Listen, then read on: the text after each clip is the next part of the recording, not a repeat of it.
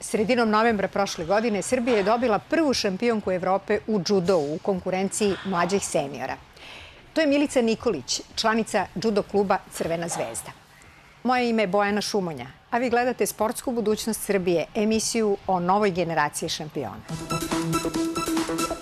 Dobar dan, ja se izvinjavam što kasnim. Zdravo Milice, ajmo slačenje i počinjemo sa treningom.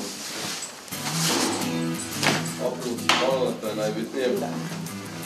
Pre evropske titule Milica Nikolić pobeđivala je na kupovima Evrope i u juniorskoj i u seniorskoj konkurenciji 2013. i 2014. godine. Osvajala je medalje na balkanskim šampionatima i međunarodnim kupovima, a na nacionalnim prvenstvima je od 2009. u različitim starostnim kategorijama osvojila ukupno 17 medalja. Međutim, za nju nisu samo odličija merila uspeha. Na nedavno održanom Grand Slamu u Parizu bila je sedma u jakoj konkurenciji olimpijskih učesnica. Je li ovo spada u teži ili u lakši trening? Pa ovo spada u po meni teži trening zato što je tehnički trening, ali što se tiče kondicijono i po snazi naravno da je lakši od večernjeg treninga.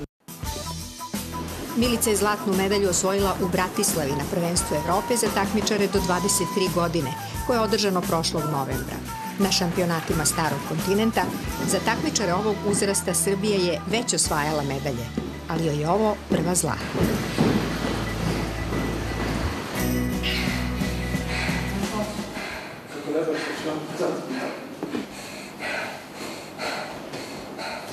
Imala sam četiri meča, Prvi meč sam imala sa Austrijankom koju sam pobedila na Ipon. Sledeći meč sam imala sa aktualnom juniorskom evropskom šampionkom, Mađaricom. Nju sam pobedila na Vazari i to mi je bio, da kažem, teži, jedan od težih meča na tom evropskom prvenstvu jer sam gubila meč na Juko i onda sam je stigla, to je zbacila sam na Vazari i tako sam pobedila. Sledeći meč sam imala sa, e, sa devojkom iz Španije, koja je izuzetno dobar borac i koja, koja me prošle godine pobedila na tom istom takmičenju, to je 2013. 2014 i nju sam pobedila na Ipon, isto posle minut i nešto i u finalu sam pobedila manje od pola minuta Izraelku, devojka koja je veoma iskusan borac, koja je u senjorskoj nekoj konkurenciji uspešna, uzima svetske kupove. Tako da je jako dobro. Milica je verovatno bila najmršavije dete u osnovnoj školi u Beogradskom naselju Resnik, kad su njeni roditelji odlučili da nju i njenog brata upišu u sekciju judo kluba Crvena zvezda. Posle samo mesec dana treniranja postigla je prvi uspeh i otkrila da je judo njen sport. Ja sam trenirala prvo ples, ali sam baš naspram svoje generacije bila dosta mrša. U prvom razredu sam imala 13 kg, što je jako malo.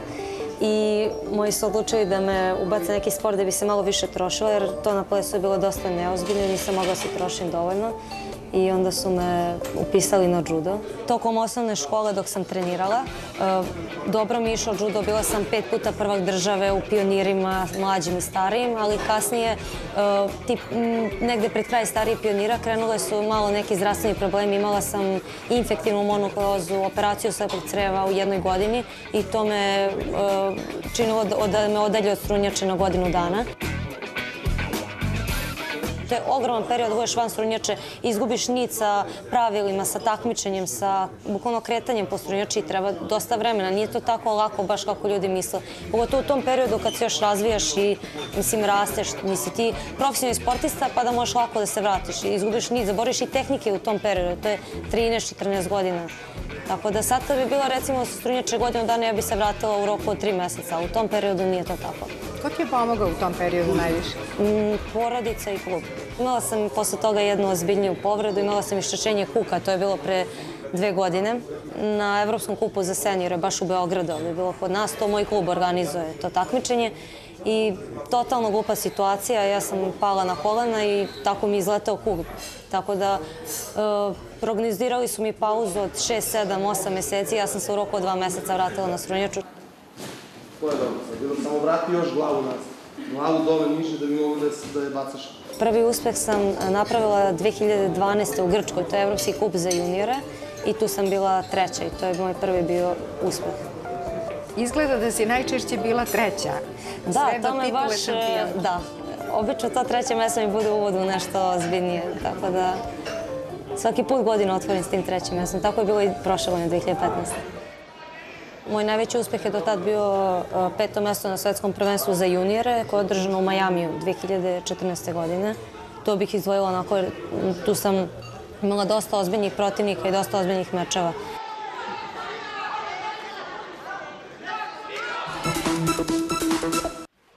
Talenat se može različito tumačiti, ali ono što ga u velikoj meri određuje jeste broj sati provedenih na treningu na kojima se on razvija i stvara.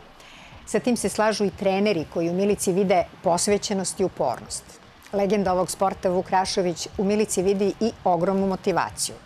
A onda je, kaže on, uspeh neminovan. kad sam joj pre tri godine, kad sam je oslovio sa šampionkom, ona se pobunila. Nisam ja Čika Vuče, nikakav šampion. Kažem, jesi, jesi, ti si šampion. Posle je pokazala da jeste.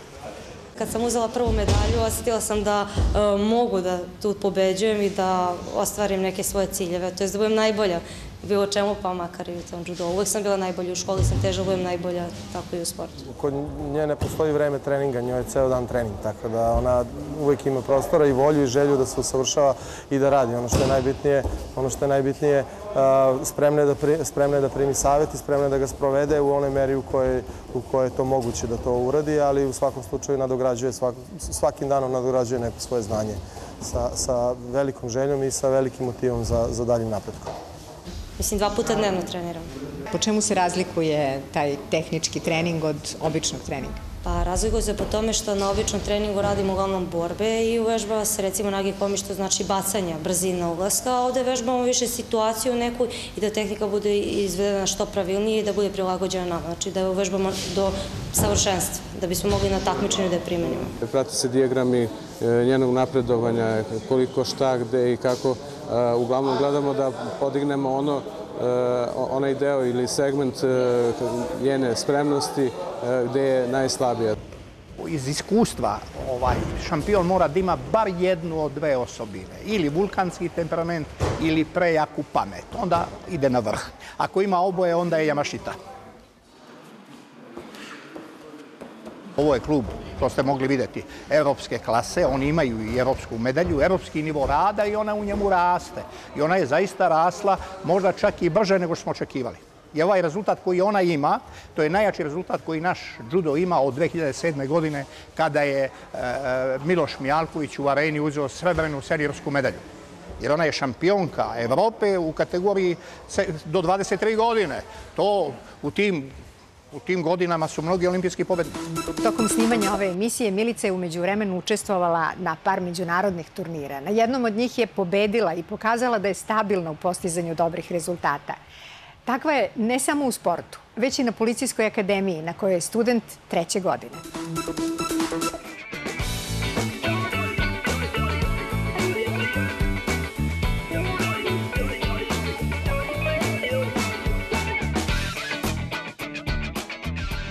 Trenutno se nalazimo u kabinetu forenzike.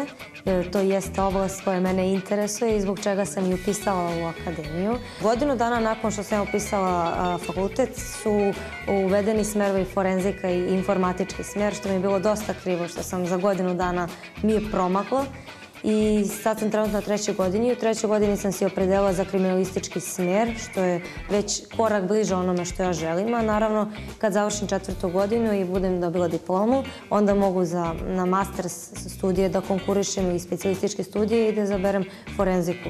To je ono što mene u stvari interesuje kad dođe do nekog krivičnog dela i treba da se razotkrije ko je počinio to krivično delo, kako, zašto je se počinilo to krivično delo. Mi tu nastupamo, naravno sa kriminalističkim tehničarom koji prikuplja sve dokaze i podatke, a mi ih obrađujemo, kao što vidite u nekom ovakvom ambijentu obavljamo taj posao, tako da je to ono što me privlače e, dosta i precizan posao i mora mnogo se razmišlja i da se povezuju činjenice i dokazi, tako da to ono što želim da se bavim time i da prosto e, posao gde mogu da e, angažujem sve svoje moždane ćelije.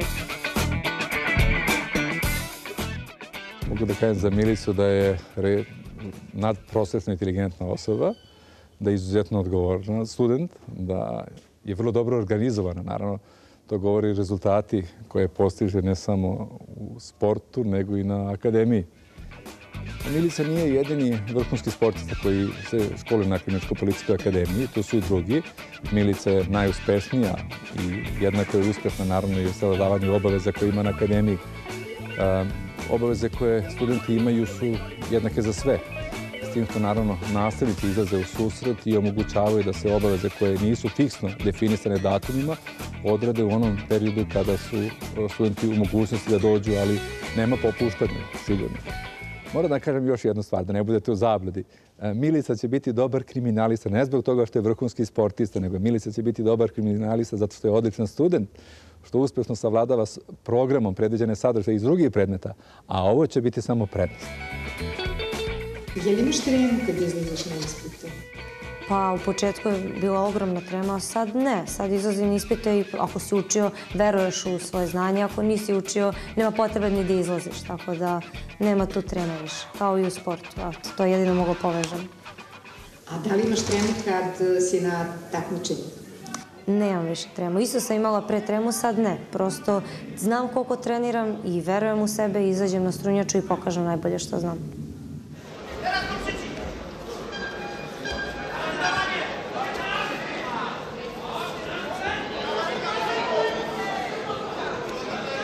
Do kad?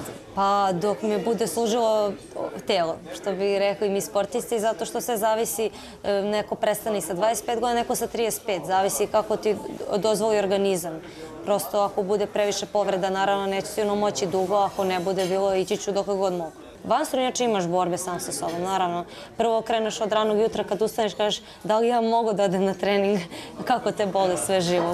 Tako da tu je sama, sam početak dnevne borbe samo s sobom, ali na takmičenju ne, ne sme da postoji borba, već znači mora budeš koncentrisan i fokusiran. Ono što nju očekuje u ovoj godini i u svim narednim godinama, to jeste bogat međunarodni program i sigurno će ona uz neko međunarodno iskustvo sigurno biti još i bolje. Sportista dođe dotle dokle ga dovede i njegova motivacija. Naravno, uz nešto sportske sreće. Naravno, imam sam kao i svaki takmičar i sportista u svim sportovima da uzem svetsku, da uzem evropsku medalju za senjere, da Znam zašto sam ovo trenirala sve ove godine, ali opet, iako to ne bih uzela, ne bih se razočarala, jer ipak sam dostigla onda svoj maksimum. Svejedno dajem sve od sebe i to je najbitnije. Mislim da u njoj imamo dijamant. Kad završim policijsku akademiju, volio bih da se bavim forenzikom. To je ono što me ta oblast interesuje, ali ne bih se razočarala ni u bilo koje oblasti drugoj da radim, jer me sama policija privlači u taj posao. Ne plašite? Ne, ne, ne, ne. Pa ne bi ni upisivala ovo da me plaši. Ne bi trenirala judo da me nešto plaši. Bavljanje sportom može vas učiniti šampionom, ali vas može naučiti i kako da svaki dan napredujete i pobeđujete u poslu kojim se bavite. Milica Nikolić je pravi primer za oba.